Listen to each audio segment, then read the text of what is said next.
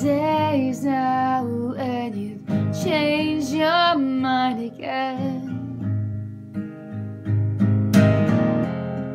It feels like years and I can't tell how time can bend your ideas.